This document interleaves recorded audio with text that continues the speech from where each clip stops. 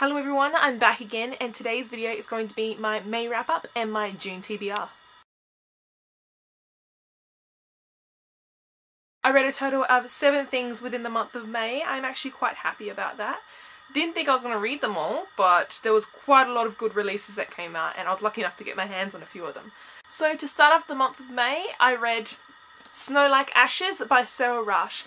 This one I gave a 5 stars on Goodreads. I love it. I'm actually thinking of doing a review on this one. I'm not quite sure yet, but I really did enjoy it. I had so many emotions and feelings that were similar to when I read Throne of Glass, but it's nothing like that. It just felt so familiar in that sense, like the fantasy aspect of it, but other than that, the storyline is nothing like Throne of Glass, but it was just so good. I really enjoyed it. I loved the whole plot in it, the secrets, the world, the way that, she, that Sara had wrote the world was amazing. How all the different kingdoms and realms, I guess, were all split across this continent and how they all were like a power play and secrets and deception. It was just so good. I really enjoyed it and I gave that one a five stars and it deserved it. And this is the second book I started reading in May and that was End of Days. It's part of the Penryn in the End of Days series by Suzanne E. Sorry. And, oh, so you probably even see the rest of the series over here. I have uh, Angelfall and World After, and this is the third book in the series, the final one, unfortunately. But it was really good. Another good book that I read this month, and I gave this one a five stars on Goodreads, and I wrote a short little review on Goodreads too, because I was just so excited after I finished reading it. Uh, it was it was such a good book to wrap up the series. I wish there was more. I love Penryn and Raffe's adventures. That was just so good. And uh, I, I, really enjoyed this one and if you haven't read this series yet, you really should. I highly recommend it and you will not be disappointed. The third book I got to read after that was The Heir by Kiera Cass. This is part of the Selection series. The Selection series with America, which is the main character in that one, is done. The first three books are about her. This moves on to many years later where it's her daughter who is now uh, ho holding a selection. And she's, it's I had some mixed things about this one. Now, I did enjoy it. It was good. She's the main character in this one, Eadlyn. Eadlyn? Eadlyn?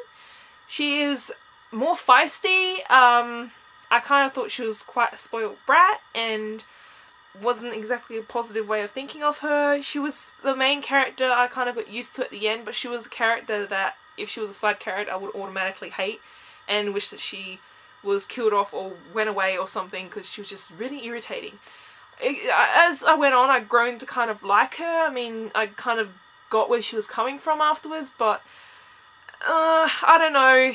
I will still continue on with the series. I gave this one a 4 stars on Goodreads. I just... I it's just not as good as the selection, I think. Ending is what really did it. Towards halfway through was what really got me into liking it and into the story. Unfortunately, the beginning of it was quite slow and at times it did feel quite unrealistic but I'll still see where this goes. I mean I'm still gonna continue reading it. I just I don't know. I still prefer the beginning part of America's story to her daughters. But who knows, it's still early. It's only the first book in the second part. But yeah, I read that one this month. Next one I'm so excited I got my hands on and got to read. And that was A Court of Thorns and Roses by Sarah J Maas. Now I love Sarah J Maas. She is amazing and I just love her writing and her work and I'm so happy I got to read this one this month. And I got this readers one just before my birthday. So I was so excited and it was such a good book but I didn't realize it wasn't a young adult. I didn't read up much about it. I just knew the general general gist of it that it's a spin-off of Beauty and the Beast um, that the main character is called Freya and there's a character called Tamlin in it. But other than that I didn't want to get too much into it and know so much about it because I just enjoy Sarah, Sarah Maas's books just so much more without knowing anything because her writing's just so amazing. But, oh, I loved it so much and I'm so happy I didn't know much about it because it was so good. My first retelling that I got to read. It was so good. It's not a young adult at all. It's a new adult novel. Just to be clear, it is new adult. I don't think the young adult novels would have this kind of content in it but it was pretty good. I liked it. I gave it 5 stars on Goodreads. I can't wait for the sequel. Hopefully there is going to be a sequel because there needs to be after that.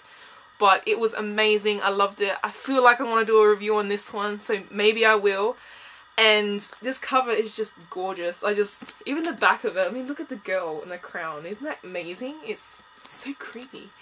Right now it's got a bookmark in it because I've gave it to my mom to read because I'm trying to make her read it. But I love it. Isn't it pretty? The hardback is just gorgeous. I really enjoyed that one. And I can't wait for Queen of Shadows. Oh my god. Throne of Glass. Oh. But A Court of Thorns and Roses was amazing. I'm happy I got to read that. And yeah, that's about the fourth book I read this month. The fifth book I got to read this month was part of my TBR Jar challenge and that was The Short Second Life of Bree Tanner by Stephenie Meyer. I had this one on my TBR pile for a long time. Forgot basically what happened so I had to reread it again for my challenge which was to read something that had less than 200 pages I think if I remember correctly. And I chose this one so I can finally get it out the way. It can go with the other series, the Twilight series that I have up there and I gave it a 3 stars on Goodreads. I knew I wasn't going to like it, not as much as what I like the Twilight series, even though that has gone down in my excitement over the years. But yeah, it was still good. I mean, uh, Tanner was kind of an interesting storyline to read from, considering if you've read Eclipse, you know her ending, unfortunately. Even in the movies, it's quite sad. But it was, it was, it was alright, I guess. I gave it a 3 stars. I mean, I've finished reading it, that's all I got to say. I've, at least I finished it and it can go back on the, my shelf. Now a couple of things I read this month weren't exactly novels to say. They were uh, comics or graphic novels if you like. But my brother went to this thing called Free Comic Book Day in the city and he brought back a bunch of free comic books for my sister and I to look at and well mainly for my sister and I kind of sneaked off with this one so I got to read Guardians of the Galaxy. I don't know if this is actually part of the whole Guardians of the Galaxy series. It's just one little comic um, but it was actually pretty good. I quite like it and this is how funny Guardians of the Galaxy is. I want to read more. I mean it's even got Venom in this one. So it was actually really quite cool and it got me excited and after that one I kind of borrowed from my brother Civil War. As Civil War is coming out next year by Marvel by the Marvel Universe Entertainment Company. So I said okay and I read it. It was really good. I'm so happy that I did. I loved it and it's kind of got me on the comic book spinner things. I want to read more and this is uh I love it. I can't wait for the movie now and uh, it's just so cool. I mean look at the art in this. It's so pretty. I love it. It was so much fun reading this. I'll even try and show you some of the art pages. Where is it? Epic battle. Look at that. Ah. Oh, Iron Man versus Captain America right there. This is so good. Oh, I'm so happy that my brother let me borrow this. Yeah, I think I gave this one a 4 stars on Goodreads. So if you guys want to read some Marvel comics, you know, Civil War's coming out next year, try and give this one a spin. Now that completes all the books that I completed reading in May. There are a few books that I'm going to roll over in June. And the first one, you could probably guess from my last couple of videos, is Dead Ever After by Charlaine Harris. I still haven't been able to read any more of this because just so many other good books came out this month and other books that I found to read.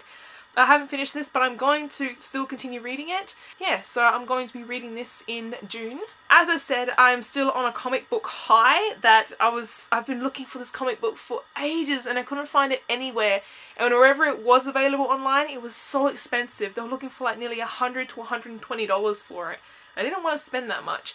But my friend took me out to the city for my birthday and I found this gem in one of the comic book stores. It was Pulp Fiction Comics and it's Secret Wars. All I know is that it's supposed to be Nick Fury's secret task force of superpowered people and I guess Inhumans as well you can say and it features Daisy Johnson as one of the main leads and I think it's her adventures starting from the after S.H.I.E.L.D. has fallen and Hydra has invaded S.H.I.E.L.D and then now regrouping to create something called Hammer, I think, which is a secret project of Nick Fury's. And while he's watching over other task force, she's operating one of them herself.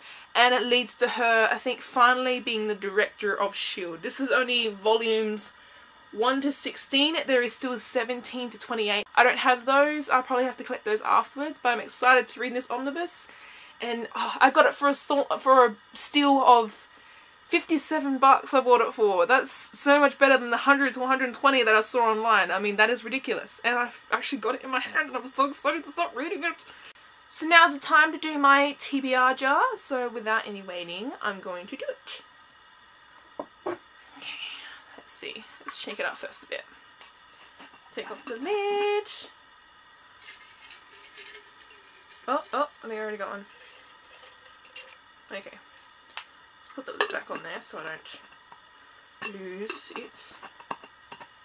Oh, lid won't go on. Lid won't go on. Alright, now that I've put the lid on, let's see. Read a book without a person on the cover. There it is, there's my challenge, if you can see that. It says read a book without the person on the cover. I think it might be a bit hard to read because it's in green. Um, hmm see. I'm going to take a look and I'll be right back. Wow, this is to be a tricky one. Turns out it was actually a lot easier than what I thought it would be. This one was on the top of one of my TBR piles and it is Shadow and Bone by Leigh Bardugo. I haven't read this series yet. This is the first book. Had it for a little while. I don't have the other books in the series unfortunately so I have to get my hands on those at some point. But it has no faces or no people on the cover so I think this qualifies for that challenge. So this is going to be my TBR jar challenge for June. I'm actually looking forward to that. Ooh, this is actually quite a pretty book too. So that's going on my TBR pile. So that concludes the video. I hope you guys enjoyed this one. I want to know what you guys are planning to read in June and what books you like that I read in May. I want to talk to some people about those because I'm actually quite happy with what I read. I read a lot more than what I think thought I would. So I'll see you guys next time. Don't forget to subscribe, give me a thumbs up, uh, check out my social links below, and have a good day guys. Bye.